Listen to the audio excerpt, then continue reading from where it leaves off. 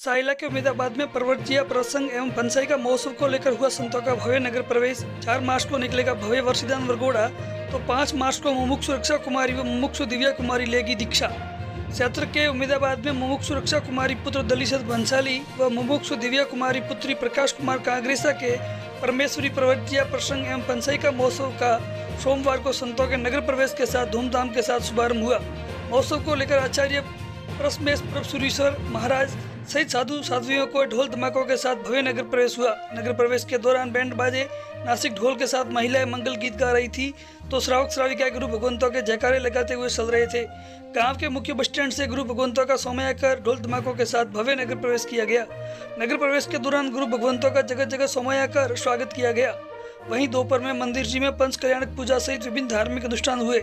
रात्रि में सुप्रसिद्ध संगीतकार तिलोक मोदी ने शानदार भक्ति की प्रस्तुतियाँ दी। इस दौरान सैकड़ों श्रावक श्राविकाएँ मौजूद रहे। चार मार्च को भव्य वरगोड़ा व पाँच को दीक्षा महोत्सव का होगा आयोजन। मुमुक्षु रक्षा कुमारी व मुमुक्ष दिव्या कुमारी की परमेश्वरी प्रवर्तिया प्रसंग एवं पंचाई का महोत्सव के तहत आचार्य महाराज के विषय में चार मार्च को भव्य निकाला जाएगा। सांसारिक जीवन छोड़ से